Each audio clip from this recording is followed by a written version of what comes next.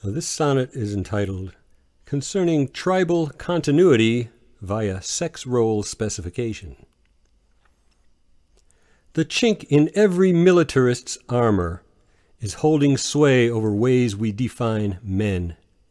For every craftsman, pastor, poet, farmer, activist, or artist, there are ten who'd place themselves within some dominance hierarchy, to rule or be ruled by intimidation as peckers in the order of patriarchy, where competition trumps cooperation, and pressures brought on young folks who'd seek purer, less polar roles than babe and macho stud.